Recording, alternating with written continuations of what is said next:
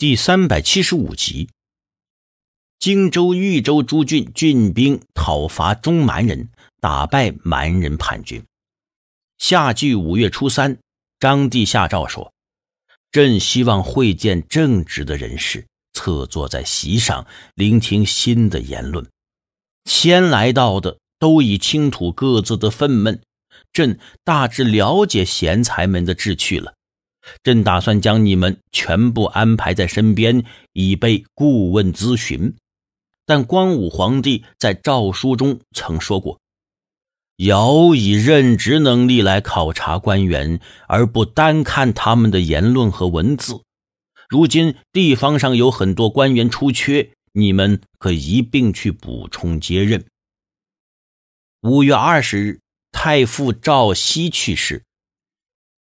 班固想要完成平定西域的事业，上书请求用兵。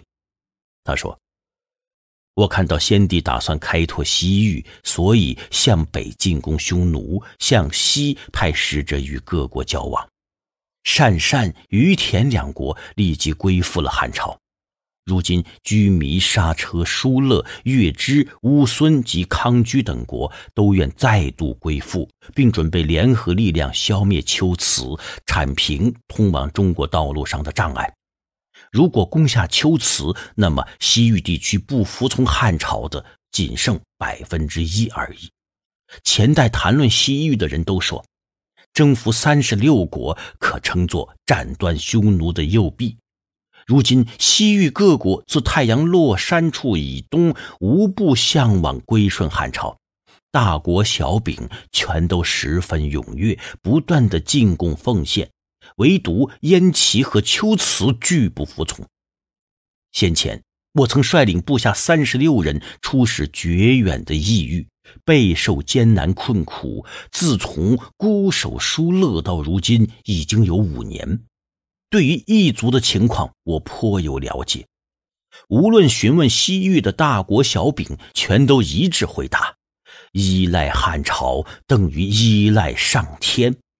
从这一点能够证明，葱岭可以打通，龟兹可以讨伐。如今应将龟兹派到汉朝做人质的王子白霸封为龟兹王，用步骑兵数百人护送，让他同西域各国组成联合部队。数月到一年间，便可夺取龟兹，利用夷狄去打夷狄，这是计策中最高明的计策。我看到沙车、疏勒的土地肥沃广袤，牧草茂盛，牲畜成群，不像敦煌、鄯善一带，用兵无需消耗中原物资，而粮秣却自给自足。而且，古墨、温宿两国国王系由龟兹特别委任，他们与本国既非同种，又相互厌恶敌对，迫于形势，一定会有人投降。如果这两国归顺了汉朝，那么龟兹便不攻自破。请将我的奏章交付朝廷讨论，作为绝世的参考。真的有一点可行之处，死又有何遗憾？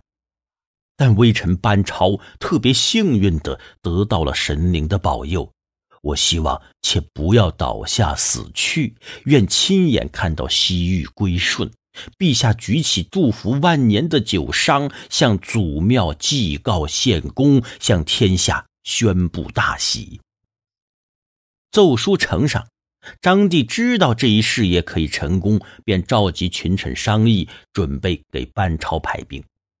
平陵人徐干上书朝廷，愿奋勇出征，做班超的助手。于是张帝将徐干任命为副司马，率领免刑囚徒和志愿从军的义勇共一千人到西域听候班超指挥。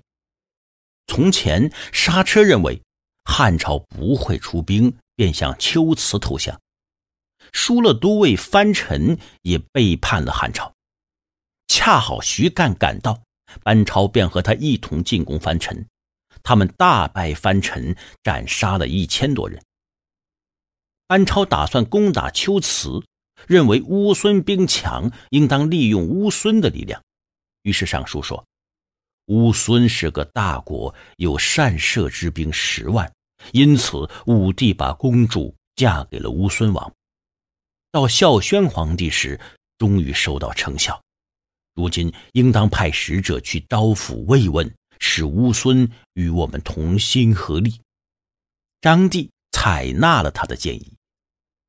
六年辛巳，公元八十一年春季二月十七，琅琊王刘京去世。夏季六月十五日，太尉鲍玉去世。六月三十日出现日食。秋季七月二十二日，将大司农邓彪任命为太尉。武都太守连范调任蜀郡太守。成都人民富有，物产丰盛，城中房屋十分拥挤。以往制度规定，禁止人民夜间劳作，以防火灾。然而，人们互相隐瞒，暗中用火，结果火灾连日不断。于是，连范便撤销了原来的禁令，只严格规定储水防火而已。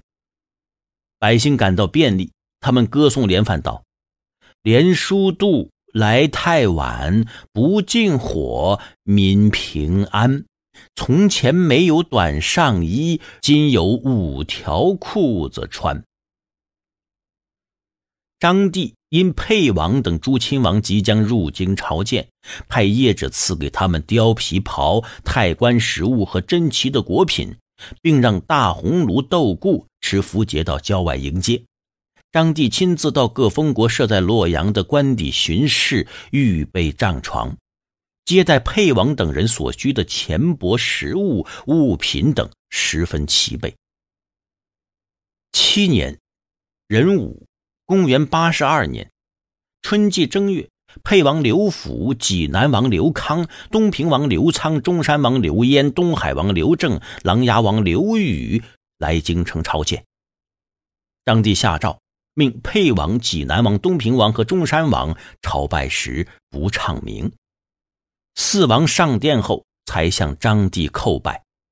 张帝则亲自还礼，以显示对他们的恩宠和给予的荣耀超过了前代。每当他们进宫的时候，张帝就派辇车去接他们，直到进宫门口才下车步行。张帝见到他们以后，起身迎接，神态恭敬；皇后则亲自在内室参拜，四王全都鞠躬辞谢，心不自安。三月，大鸿胪上奏，请命令诸亲王返回封国。张帝特命东平王刘仓留在京城。